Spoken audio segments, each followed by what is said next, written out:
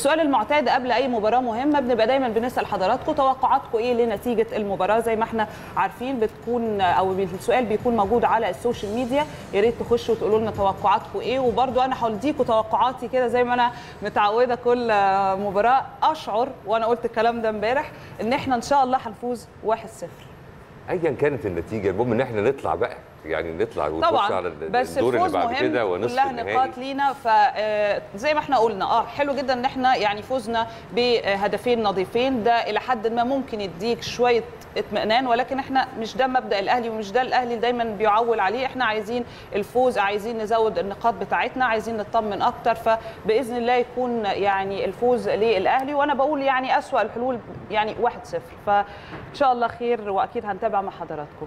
خلينا بقى